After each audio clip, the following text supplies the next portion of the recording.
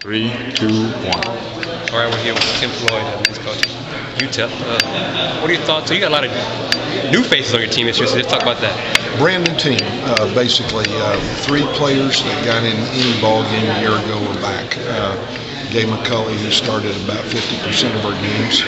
Uh, John Bohannon, who started a handful of games, and, uh, and Mike Pettis. Um, uh, very few points returned, very few rebounds, and uh, 10 new players. And um, that being said, looking forward to it. Um, young guys, um, for the most part, not highly recruited players, but uh, we think a little better on maybe the level uh, they were recruited at. And, uh, you know, a lot, lot, probably more questions than answers at this point, but uh, uh, we're going to throw them to the fire. Uh, going to play a very competitive schedule uh, for a new team playing uh, on the road at UNLV, on the road at Oregon. Uh, in the uh, Diamond Head Classic, we open up at Clemson and, uh, and the same side with uh, Kansas State and Xavier, at Colorado State and Mexico State twice. But uh, uh, you know, I think a team that is going to grow this year. We're trying to think long term. Uh, with what we're doing, we went out and signed eight freshmen, and we're going to let them grow and make some mistakes this year. You mentioned Bohannon, uh, guy from around East Park, Lancaster, was quite a prep player, and I know played some quality minutes for you guys last year. Talk a little bit about his development and what you expect from him this year. Well, you know, he got some experience a year ago. Uh, he he uh, is a guy who uh, obviously had to get stronger. I think he has gotten stronger. Um, has to uh, take some mistakes out of his game. That's part of what uh, he was about as a freshman. Um, and knows that in order to, to have the kind of career that he wants to have, that he has to eliminate, uh, you know, some turnovers and uh, uh, some mistakes in his game. But uh, I think that the year of experience will help him. Kevin Perry, also a guy that's a dual sport kid. Uh, talk a bit about him and I guess, uh, you know, when you expect him, I guess, and, and what to expect from him. Yeah, you know, Kevin uh, played a lot of basketball in high school. Um, had the benefit of going through our practices a year ago, so everything will be more familiar to him this year when he comes out. Uh, we were right into the heat of the schedule a year ago, and it was very difficult to go back and reteach. But I think he absorbed a lot, and uh, this year uh, may have a different role and probably get to the floor and help us. What's your philosophy in general just on dual sport kids like that, football, basketball? I'm all for it. I mean, you know, um, you know, remember the Charlie's, Charlie Wards and uh, uh, Julius Peppers. Uh, in fact, we uh, got a guy coming next year that will be playing for the football uh, team. Uh, who's a very good player. I cannot mention his name. I just remembered we haven't signed him yet, but uh, um, big advocate of him. We came close to getting it. Boy, you did. I started to blow that one. With all of the new faces you have, what, how good can the team be this year? What do you expect from them? You know, um, I've been down this road uh, a couple times. Um, at the University of New Orleans, went through it my second year. Um, went through it um, at Iowa State my second year, and um, both those seasons turned out okay. Um, so we're not going to sell them short. Uh, we're going to approach it like we would any other year. We're, uh, we're going into every game expecting to win. Uh, that may be delusional at this point, but uh, uh, I hope not. You know, we've got a bunch of competitive guys that were part of winning programs that, that won state championships and city championships. And um, our biggest philosophy was trying to put 10 new guys together that were not used to getting beat.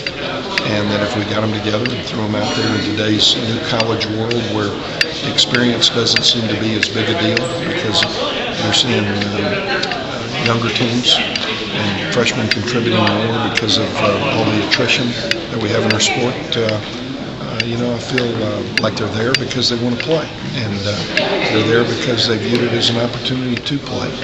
And uh, hopefully, we were right with our evaluations.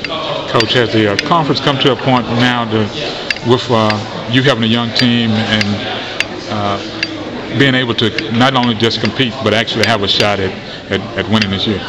Well, you know, I don't, I don't know that we've come that far with the likes of Marshall and, and Memphis and Tulsa returning so many experienced players that have been around the block. I, I think uh, what we're going to see in our league, I predict this year, is a team that can, is, uh, or two, that will advance deeply into the NCAA tournament because the experience returning at those three programs. And with Central Florida, I shouldn't uh, uh, forget about those guys. Uh, uh, you know, people forget that Central Florida was ranked you know, uh, I think 19th in the country and 14 and 0 at one point have them all back. Uh, So uh, I, I- don't know that we can uh, compete with that type of experience this year because uh, we could very well see a, a team uh, like Butler, like VCU, that was senior laden uh, very, very talented players out of this league emerge this year. Where do you see the league trending in terms of NCAA bids? Well, I think that uh, when you have eight teams in a league uh, that were in the top 100 in the RPI, there were only two other leagues that did that, the Big Ten and the Big East.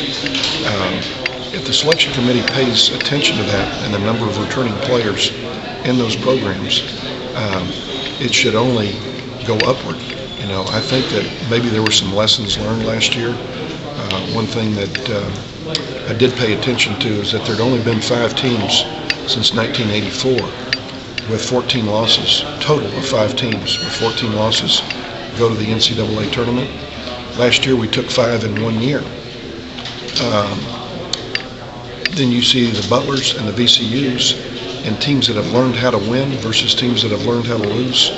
And uh, maybe they'll pay more attention to teams that have learned how to win, which you're going to see a lot of in Conference USA this year. A little bit about the quality of the coaches in this league, and you know you've been at different levels and, and other places, and a lot of other coaches around this conference have been other places and kind of found a, a great home in this conference. Talk a little bit about that and, and just the fraternity in this league. Well, I, I think that it's a league where uh, you've got guys who have done it and proven it, and then you've got other guys that are young and hungry, and um, and as talented as the guys have done it improvement. Um, I watched that last year. Uh, Doug Wojcik in that category, Donnie Jones in that category, Tommy Herrion in that, that category.